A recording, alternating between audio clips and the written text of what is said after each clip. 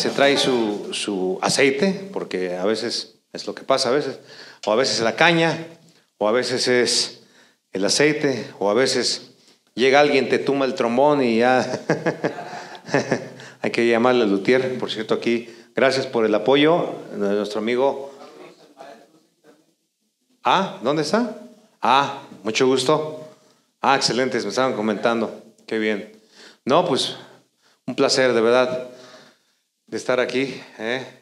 Y Ariel, gracias, también excelente productor, arreglista.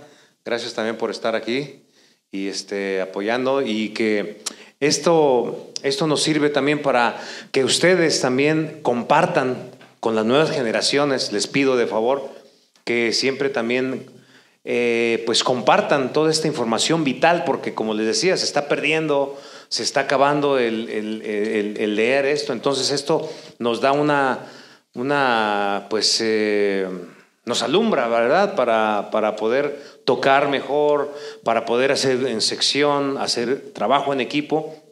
Y les pido, me da gusto de ver a este chico que es, eh, eh, joven y que le guste también eso. Te felicito. ¿Cómo te llamas? ¿Eh? José. Ah, mucho gusto, ¿eh? Muy bien, ¿eh? Te felicito porque eso te va a ayudar muchísimo y el día de mañana tú le tienes que pasar la información a esa gente, ¿verdad? Como, como regresando ese favor, ¿no? Así como nosotros nos gusta compartir a todos ustedes en todos los lugares donde vamos, pues también ustedes pasen la voz. Este, no hay que ser egoístas, ¿verdad? Porque a veces hay gente así, ¿no? De que no, no, que no va a pasar. No, no. Esto es, esto es así, compartir. Yo creo que el compartir a ustedes también el día de mañana van a llegar, van a llegar buenas cosas para ustedes. Es por causa y efecto, semilla, fruto. Nosotros, eh, eh, eso para mí siempre ha sido mi filosofía, el dar, el ser buena persona, el compartir, el colaborar, el de, el de ser equipo, ser amigo, dar, ¿verdad? A mí me ha funcionado, ¿verdad? Y, y yo pienso que eso siempre hay un, hay un premio. De alguna manera u otra, si no te llega el momento, te llegará en algún momento dado. Y bueno, esto es así. Pero bueno, seguimos, eh, seguimos en el 183, ¿verdad? En dame, eh.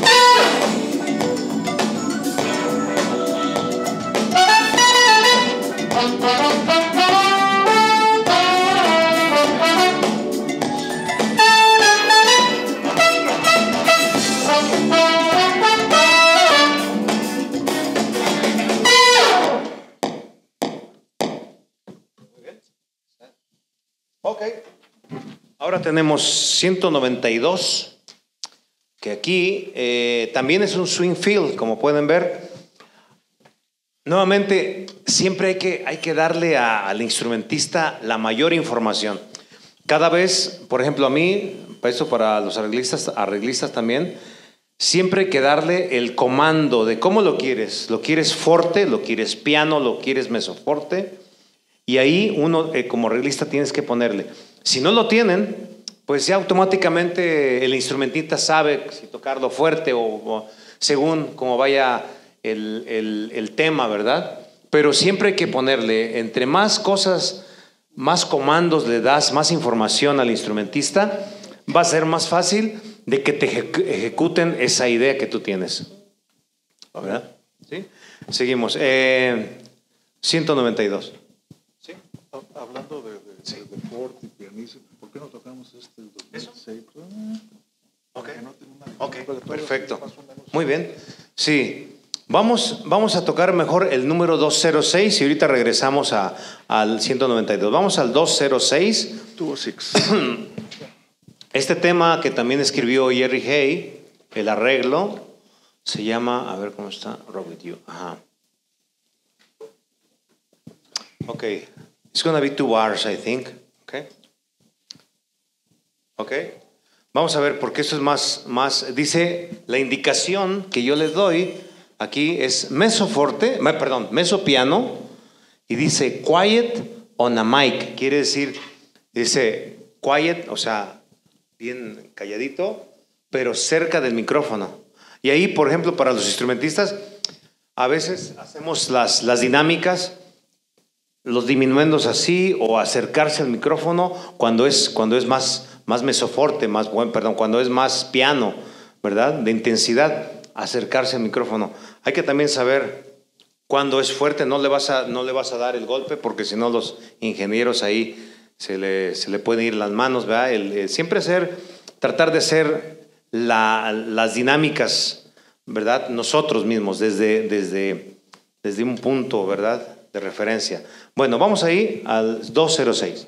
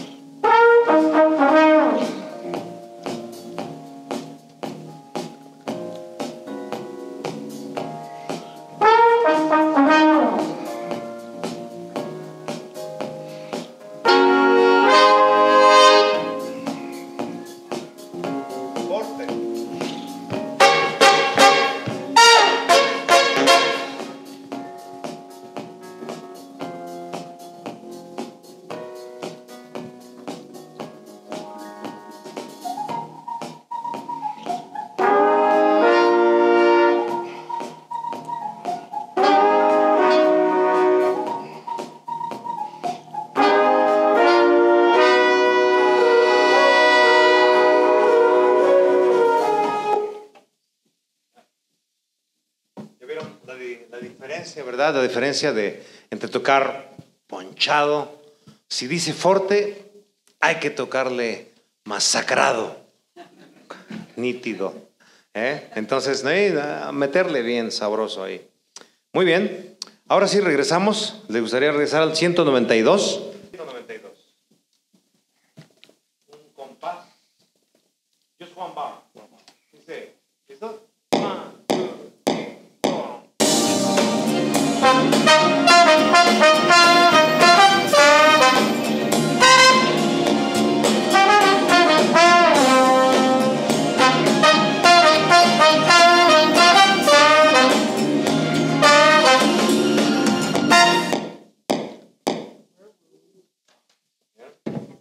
Bien, bien, bien hablado siempre. Ok. 201. Aquí, si puede ser un poquito el zoom, querido Ariel. Ah, vamos a ver esta primera parte. Eh, aquí, como pueden ver, aquí, aquí Ramón, eh, en esta parte, en este fraseo, aquí nos pusimos de acuerdo, Ramón y nosotros, estas ligaduras, porque toda la frase, pero aquí nos pusimos de acuerdo en la separación para poder hacer sección. Si quieres ahondar un poquito esto, Ramoncito.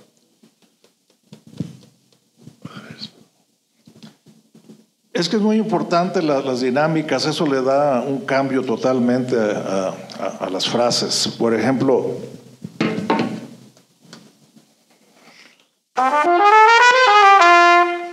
no es lo mismo que... Son las mismas notas, los mismos valores, pero la interpretación es diferente.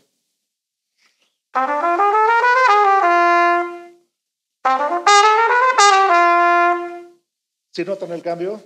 Ok.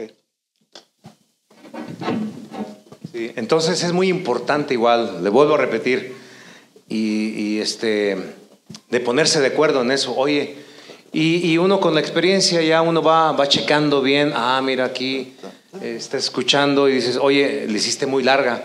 O, o uno mismo dice, ¿sabes qué? Discúlpame, yo fui el que la hice corta. Vamos a hacerlo otra vez. La, la- la hacemos larga, corta, estacata, X, estacada, X. Entonces eso es, es muy importante, ¿verdad? Ponerse de acuerdo. Vamos a ver ese 201.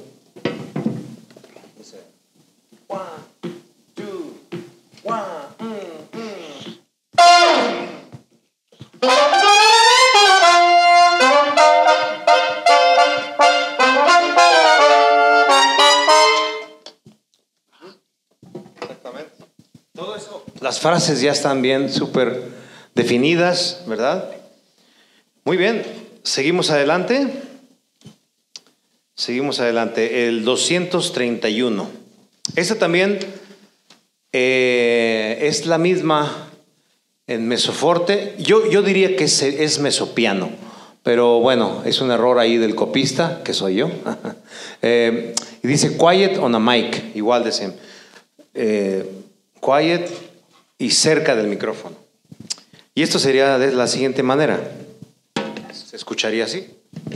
¿Ya vieron los tenutos? ¿Ya vieron todo esto? Todo el fraseo, ¿verdad?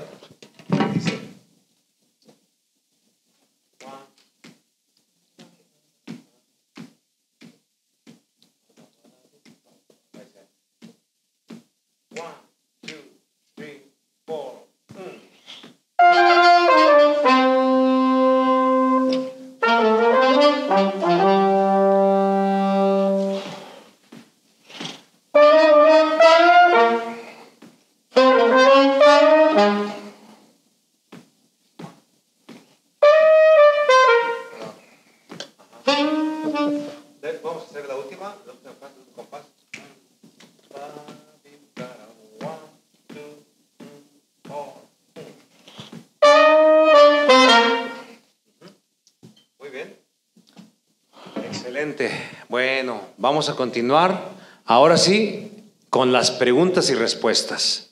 ¿eh? A ver, de verdad, con toda confianza, ¿eh? cualquier cosa de... Eh, ayer, ayer me comentaba un chico, oye, este, no sé si está por aquí o no sé, me preguntaba, oye, ¿cómo le haces para, pues cuando, cuando te cansas, cuando te cansas, ¿qué es lo que haces? Y bueno, pues sí, es que bueno, yo lo que hago, por ejemplo, cuando estamos tocando y eso, este, trato de, relajar el labio, ¿no? Hago este tipo de... Lo escondo ahí para que no suaviza. O hago este tipo de movimientos. O cuando voy antes de un trabajo, ¿verdad? Lo que hago, voy manejando y... Todo eso. Ah, trato de que todos los músculos de la cara, todos los músculos, porque son una serie de músculos, ¿verdad? Estemos en contacto, me sobo. Y ya cuando tengo un trabajo, un hueso, como decimos en México, no sé cómo le digan aquí, un hueso, hueso también, el hueso, un hueso que roer. Este, pues también cuando estamos cansados o, por ejemplo, ayer que trabajamos y todo eso, pues lo que hacer, relajar el labio, ¿verdad? Sí, es una de las cosas que interesantes. Y muy importante cuando estás cansado de la noche anterior y que no tuviste tiempo de descansar, muy importante calentar. Calentar es muy importante.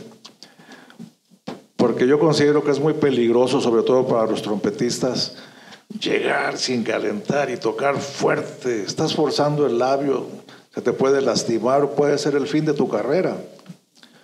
Entonces yo pienso que es muy importante calentar, sobre todo cuando tienes el labio hinchado, cansado. Porque es increíble, hay veces que, que yo he tenido que tocar hasta las 2, 3 de la mañana y tener grabación a las 10 de la mañana. Y un día se me ocurrió, porque quería descansar un poco más, levantarme casi sin tiempo para nada más que para llegar a la grabación, calculando yo que el otro trompetista que iba a ir él siempre tocaba primera y era un trompetista muy fuerte. Dije, ah, bueno, yo con la segunda como quiero, ¿no? Pero cuál va siendo mi sorpresa que ese día también él iba un poco mal del labio y me dice, vamos a tocar una y una porque no me siento muy bien. Ay, Dios mío, cómo sufrí. Desde entonces, casi siempre cuando tengo una grabación, me levanto a las seis de la mañana para checar el labio cómo está y dar tiempo de que se ponga en forma porque no lo van a creer, no, sé si les ha pasado a, ustedes los trompetistas, que empiezan a calentar en la mañana después de haber tocado una noche anterior y tener el labio cansado, hinchado, y el primer sonido que sale es así.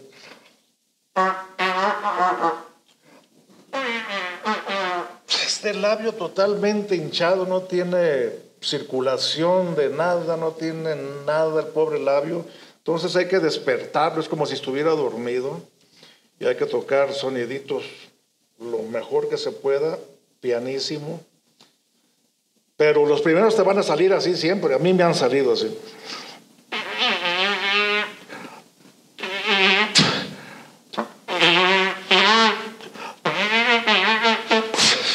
Pero después de un ratito empieza a mejorar el sonido, empieza a mejorar el labio.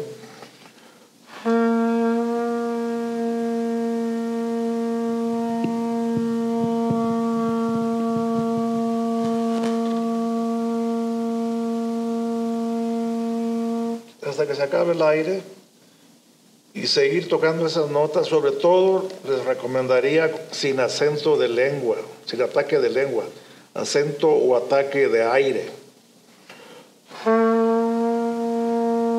Que no es lo mismo que...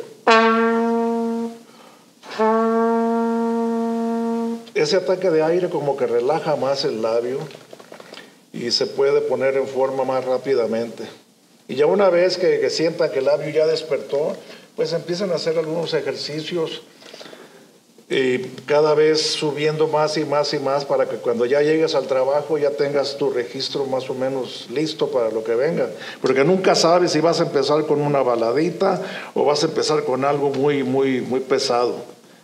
Y pues te están pagando por hacer un buen trabajo y no le vas a decir al productor, oye, es que no calenté o, o no me siento bien del labio. Ellos están pagando y quieren buenos resultados. Entonces el calentamiento es muy importante para mí. Exactamente. No, y, y otra de las cosas, por ejemplo, si tienes, a ver, eh, si tienes una grabación o tienes un ensayo en cualquier parte, yo siempre me lo he tomado, cualquier tipo de compromiso, me lo tomo muy en serio. O sea, me levanto temprano, igual como dice Ramón, me preparo, desayuno, me tomo mi cafecito, trato de llegar 15 minutos antes o llegar siempre puntual, porque a mí en lo personal no me gusta la impuntualidad y, siempre tomarlo todo, todo, así sea cualquier ensayo, si no te están pagando, todo tienes que tomarlo como, digo, en mi caso, o sea, lo, lo tomo como si fuera algo muy importante, porque está, hay que, hay que llegar temprano, hay que, son, son cosas por, de de ética profesional, ¿no? Yo lo que hago en, lo particular, eh, yo lo que hago en las mañanas también igual es muy parecido a lo que hace Ramón, solamente aire, pero una cosa, por ejemplo, para los romanistas, eh, el abrir, el abrir la garganta, y yo lo que hago es, es hago sonidos guturales.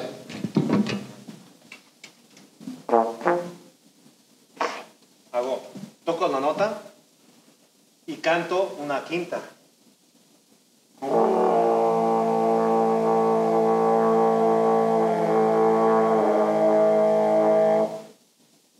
Abrir, porque no. No. Oh.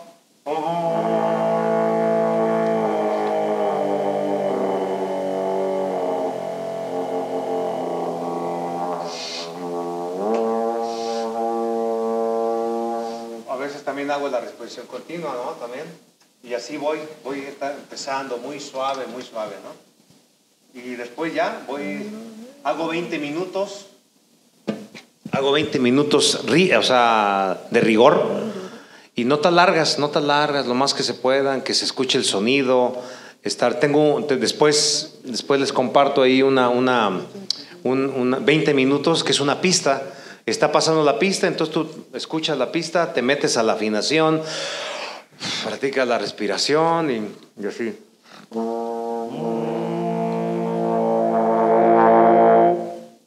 Vas haciendo. No.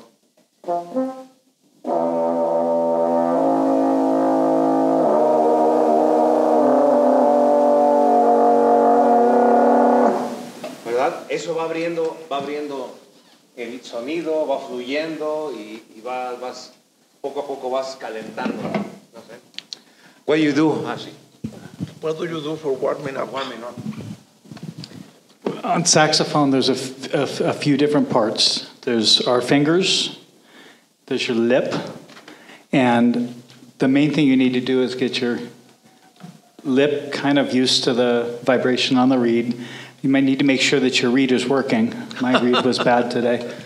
Um, and then warm up your fingers. And I just make up exercises, things I hear, I copy, but of things to warm up my fingers.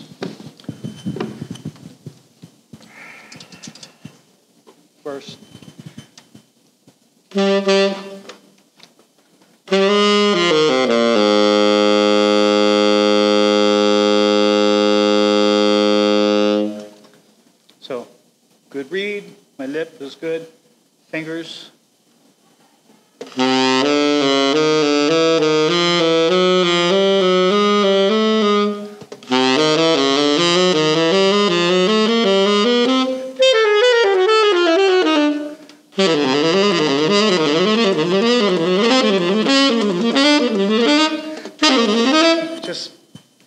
to get these smooth.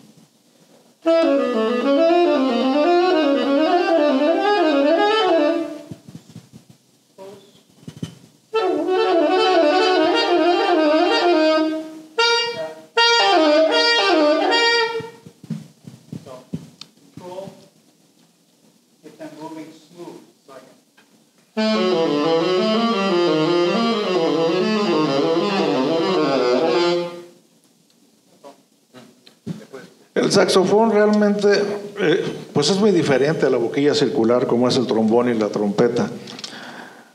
No es menospreciar a los saxofonistas, pero es un instrumento más noble, más... No necesitas horas y horas de, de calentamiento. Lo que dice Greg es que, que es muy importante checar la caña. Hoy le tocó un mal día con la caña. Si la caña eh, no está muy bien, le va a dar muchos problemas al saxofonista. Y después, pues, checar sus labios que estén vibrando bien y, checar sus dedos que estén funcionando bien también. Y pues eso es prácticamente lo que el saxofonista hace para calentar. Y con respecto a lo que usa en la campana, no sé cómo se llama, es primera vez que lo veo, que desde cuándo lo usa y eh, qué resultados tiene a través del... Since when you, you started using that little thing? And, and what's the, the, the idea to, to use that? Uh, 15 years ago, 20 years, I've, I've used, 15. I've, I've, I've used something like this for a very long time. Uh, saxophone, we like to play against the wall. You know, we go, Dice que, a los saxofonistas les gusta mucho tocar enfrente de una pared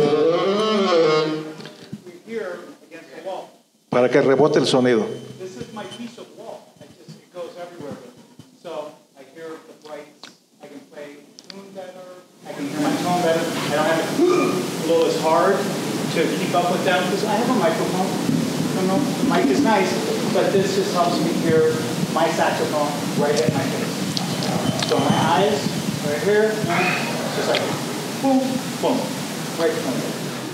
Y también se usan las trompetas y trombones.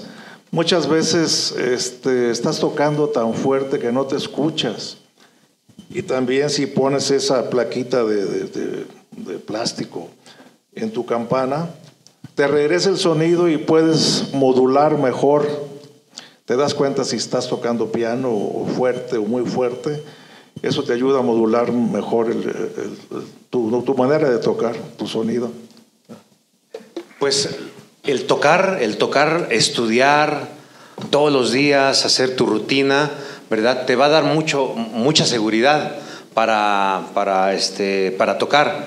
Entonces eh, es como las horas de vuelo, ¿no? O sea, tienes, no sé, un, un- un piloto de avión tiene muchas horas de vuelo, ¿verdad? Practicando y todo eso. Y este, llega el momento en que, en que se hace muy, muy normal. Es por eso de que, eh, pues sí, te recomiendo hacer una buena rutina de calentamiento, este, de, estudio, ¿verdad? Cosas que son difíciles, pues tratar de, enfocar, ¿verdad? Enfocar algunos pasajes, eh, buscar literatura en el trombón, este, en fin, o sea, ver muchos videos, ¿verdad? ¿Qué es lo que te recomiendan los maestros? Y, pero sí, el estudiar, eso te da mucho más seguridad, ¿verdad?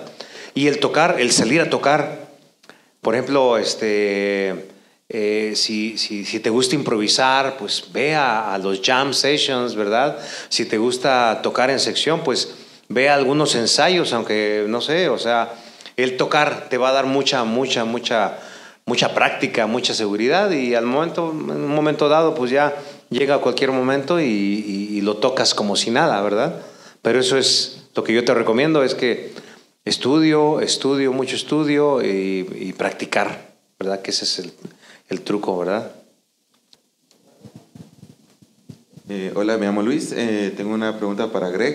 eh, Greg. también. Greg, Eh, yo soy seguidor, eh, soy en Instagram y he escuchado bastante que la mayoría de videos que sube está usando el tenor. Entonces he visto la facilidad que tiene para usar como quizás unas tres octavas más altas de la que estoy acostumbrado a escuchar en, en el tenor. Y tengo la, la curiosidad eh, si su boquilla tiene que ver o algo en específico porque escucho que sube más eh, mucho más que varias personas que tocan el alto. O sea, como el tenor da notas súper más altas, y quieres saber si son eh, armónicos o posiciones especiales que usted ha descubierto por usted solo, porque de verdad suenan demasiado increíbles y masacres. Yeah, the um, the whole altissimo, those high notes. Javier. You really have to. You really have to practice the overtones first and have good overtone um, practice. So, like.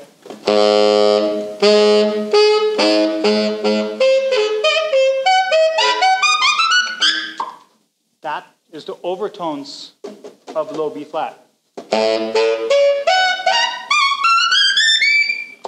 A partir de así.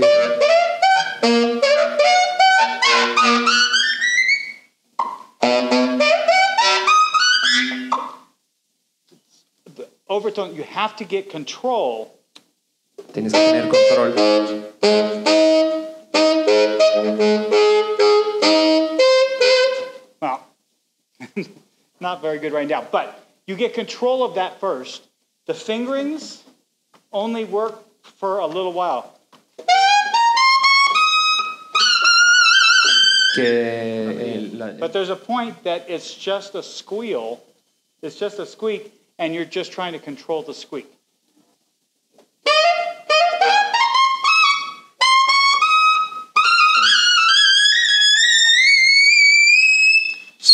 to- todo eso es puro labio.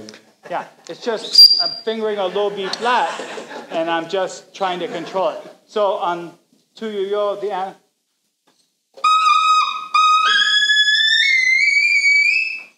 and this this reed, the reed has to be fresh. It has to La be like a new estar- reed, because the first place that a reed dies is the very high part of the sound. So when a reed gets old, it sounds dead, and it's because it doesn't have those highs. But it's really just a squeak and going.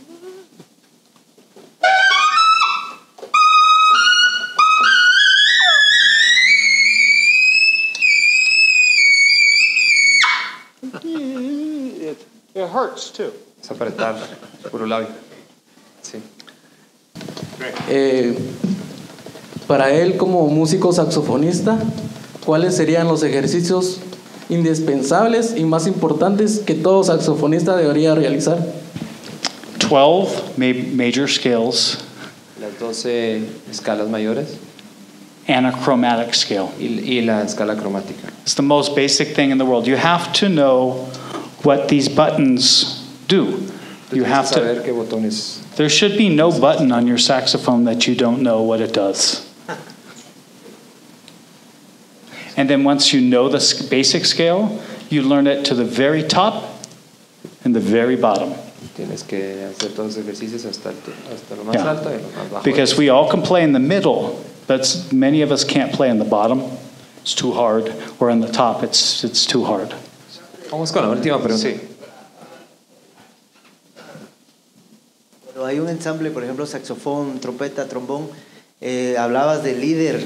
En este caso, siempre será la trompeta, por ejemplo. Siempre. Ok. Siempre, el, el líder es el que pone, siempre como en las big bands también, el líder es el que pone la pauta, ¿verdad? El que tenemos que hacer, apoyarlo, ¿verdad? Nosotros, eh, para, para que él se sienta bien, para que él pueda, este, ¿verdad? Por ser la primera voz, la líder, es el que pone la afinación. Si él sube de afinación, nosotros también tenemos que ajustarnos. Po- En el, en el oído tenemos que ajustarnos a él, darle su colchón, ¿verdad? De hecho, anteriormente los arreglistas eh, tenían esa preparación para escribir para la Big Band, para este, y a veces, a veces las grabaciones, ¿no? Me comentaba Ramón que, que a veces eh, se equivocaba el, la segunda trompeta o la cuarta trompeta y el líder se enojaba porque decía, oye, estamos, antes que, que no había ni, ni ponches, ni nada, de arriba abajo, se grababa de arriba abajo.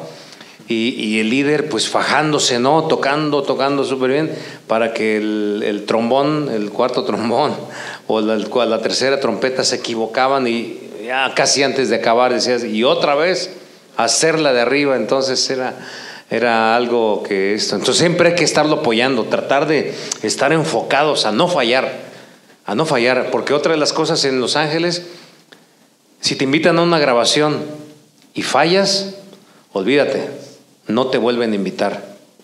No te vuelven. Por eso hay que llegar bien preparados y, y, siempre estar en la mejor disposición, estar con una energía ahí pensando así como, ¿eh? como o sea, siempre estar bien, bien focus, enfocados, pilas, pilas, nítido y, y masacrado todo. Y quisiera saber si, por ejemplo, en la música popular y big band influye el tipo de trombón que utilicemos. Es decir, si somos un lead trombone, es importante tener un trombón de tubería pequeña. Totalmente, sí. De hecho, yo tengo, yo, yo toco más.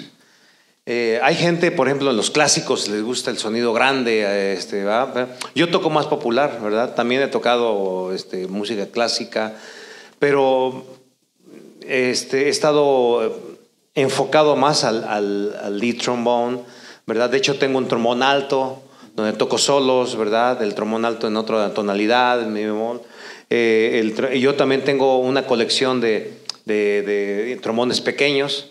Trombones, me gustan los trombones de los años 40, de la época de la Big Band, donde ahí se utilizaba el trombón pequeño, siempre líder, el 2B, el segundo, el 3B y el trombón bajo. Entonces eh, ahí está claro, en esa época se utilizó ese, en esa época dorada de la Big Band, ahí se utilizaba, se tocaba sin, sin micrófonos. Eran nosotros mismos, eran nuestras bocinas, ¿verdad? Y eso es. Pero sí es muy importante. Si vas a tocar, incluso cuando te grabes, cuando te encargan, ah, que voy, por ejemplo, yo tengo, cuando me piden tres trombones para una, un, algo de salsa, pues yo toco el primer trombón con un chico, el segundo me agarro otro micrófono diferente, toco el, el 2B o 3B y agarro otro con otro. Entonces voy grabando cada instrumento, ¿verdad?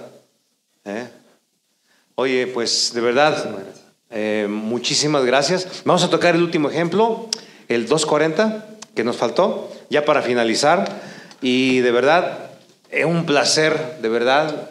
Muchísimas gracias, de verdad. Ustedes, de verdad, la gente, nuestros hermanos, son ustedes nuestros hermanos y, pues un placer estar aquí en, en su país hermoso, qué bárbaro, qué rico se come y la verdad que este, aparte la vibra, se siente inmediatamente el contacto bonito de la gente y les agradecemos y ya saben, perseverar, dar, ser buena persona y, y dar todo en cada, en todo lo que hagan, pasión, pasión, mucha pasión, mucha energía, mucha nitidez y mucha masacre.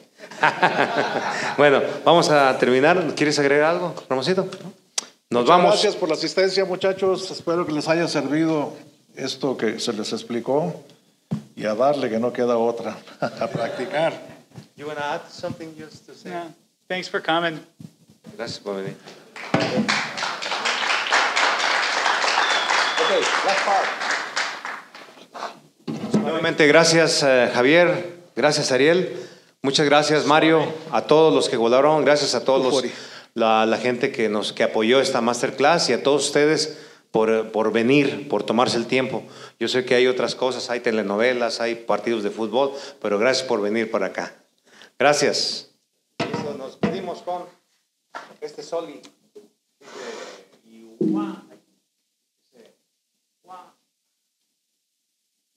Mario, ¿ya te fuiste?